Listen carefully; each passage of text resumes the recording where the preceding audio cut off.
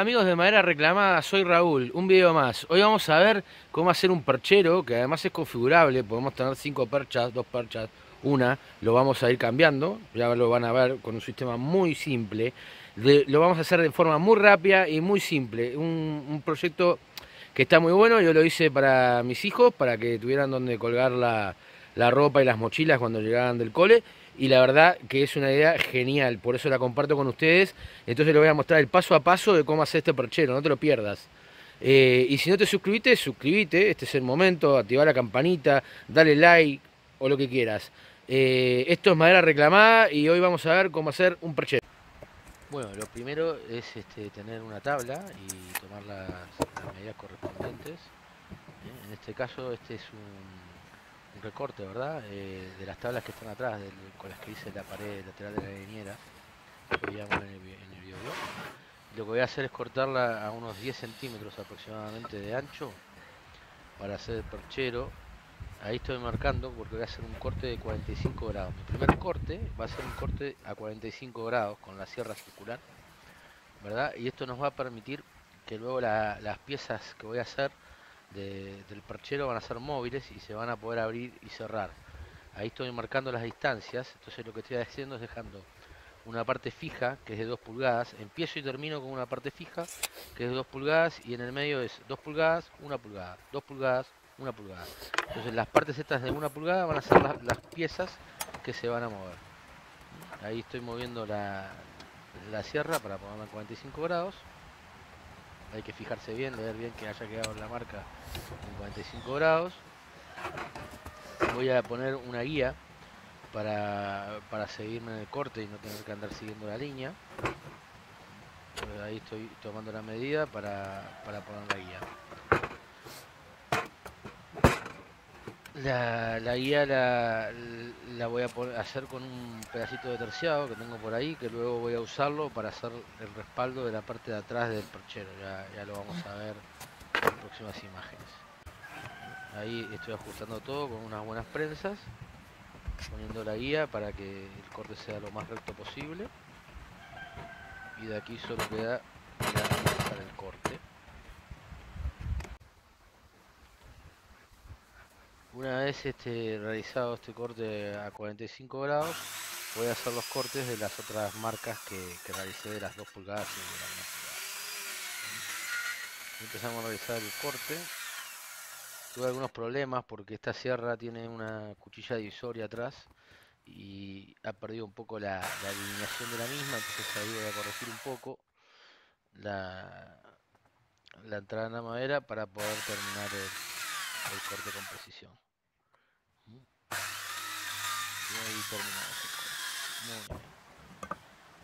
Luego de esto, eh, lo que realizo es la, marco las líneas con la escuadra rápida. ¿Se acuerdan que una vez comenté que no conseguía escuadras rápidas? Pues bueno, el otro día compré un pack de prensas y me vino esta escuadra de regalo. Así que hoy la vamos a usar durante el video. Entonces marco las partes de 2 pulgadas que van a ser las que van a estar fijas y las partes de 1 pulgada que van a ser mis perchas, digamos que van a ser las que se van a mover. Eh, una vez que tengo todas las marcas hechas, solo queda fijar la pieza y empezar a cortar de vuelta con la sierra circular. No vamos a usar más herramientas en este video que la sierra y el taladro. Mm. Voy cortando las piezas, voy moviendo y seguimos cortando todo el resto de las piezas. También se puede cortar a mano alzada o se puede cortar eh, usando simplemente la mano para sujetar la escuadra, pero bueno, esto ya eh, va en, la practicidad y, en el, la costumbre de cada uno, digamos. Eh, yo empecé a hacerlo así porque de esta forma entiendo que con la pieza sujeta y tal es más fácil. También, ven, aquí lo estoy haciendo a mano alzada, pero bueno, es un poquito más riesgoso, el corte se puede mover un poco la madera. No, no es lo mismo, sobre todo que esta porción madera no es muy larga que digamos, como para estar haciendo todos estos cortes, pero bueno, es un tema de práctica simplemente. Una vez que tengan práctica, lo pueden hacer de esta manera.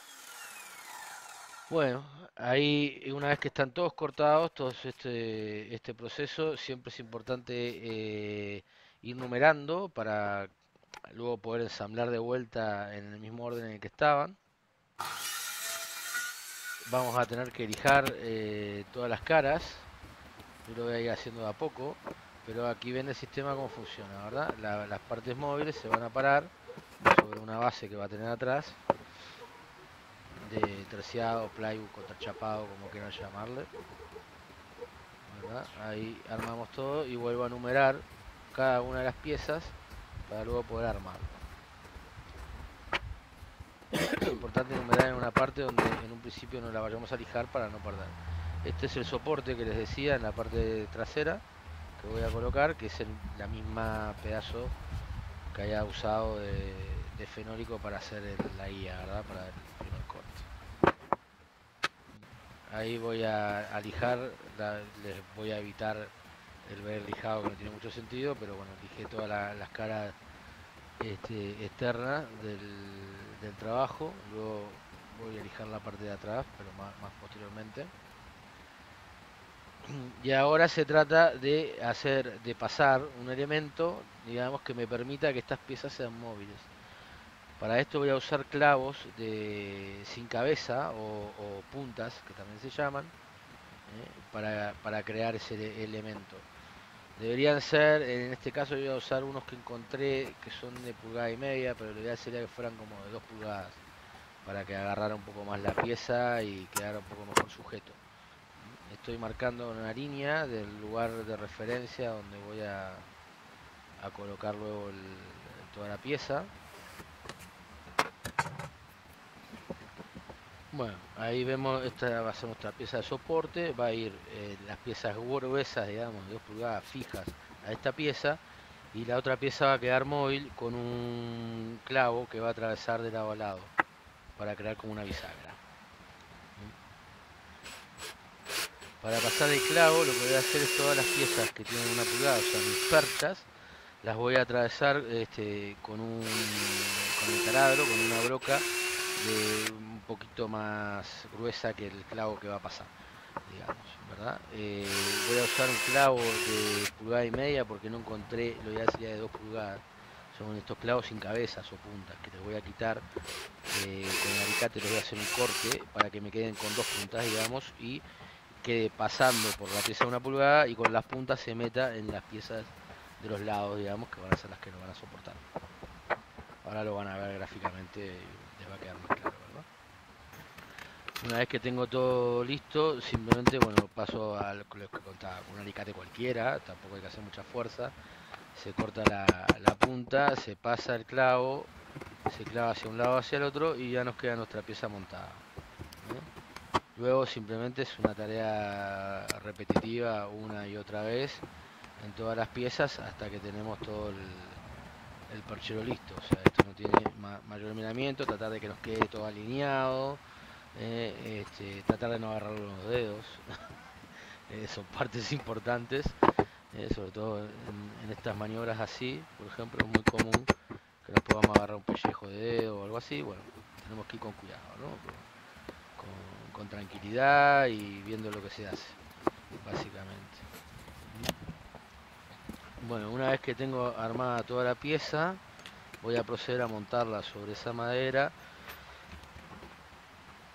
Tengo que terminar el lijado previamente de la parte de atrás y al final le voy a dar un, un tratamiento con, supongo que con aceite, ya, ya cuando llegue a ese, a ese paso veré con qué lo hago.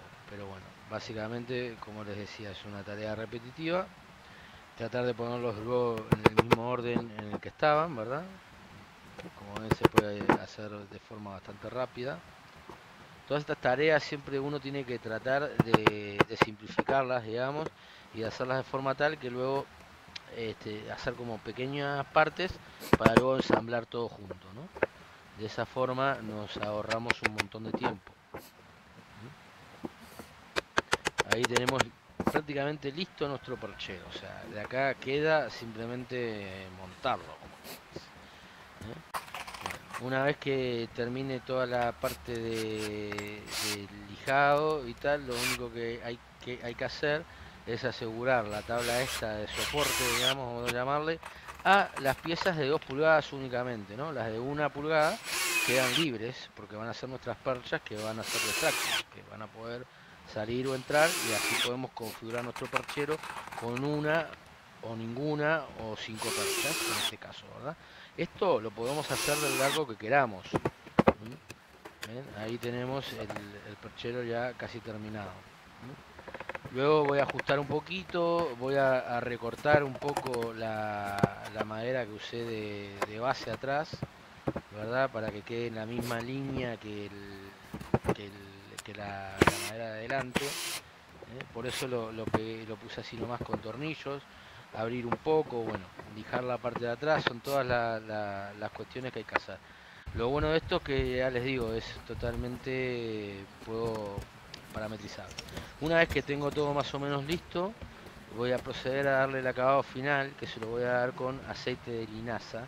Es un aceite de linaza que está cocido, digamos, eh, lo cual hace que no se ponga rancio ni despeda olor así como aceite y le da una terminación bonita a este tipo de madera, que es una madera dura, es una madera de, de raulí.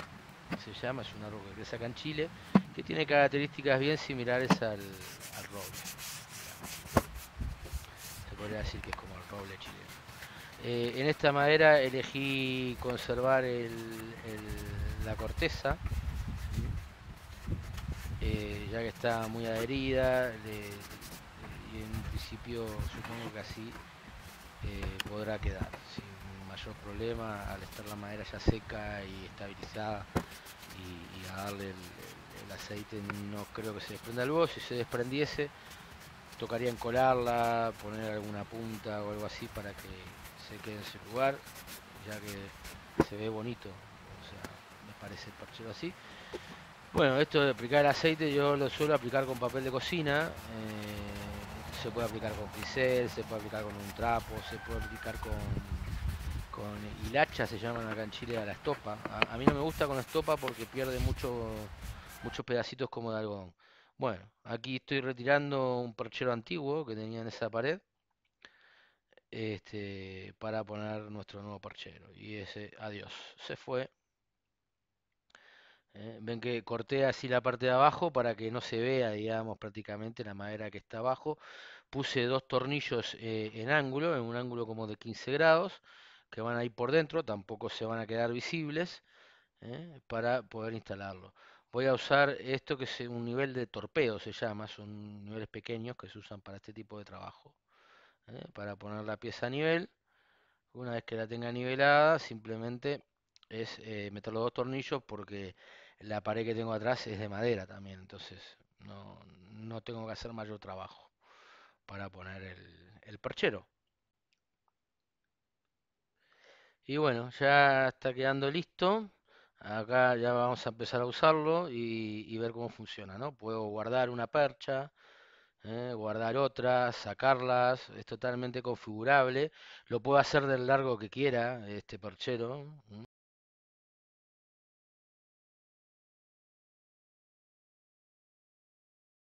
Bueno amigos de Madera Reclamada, esto fue todo, un perchero fácil, eh, con madera, bonito, configurable. Eh, si no lo hiciste ya, suscríbete, dale like, nos vemos en un próximo vídeo y muchas gracias por los minutos prestados.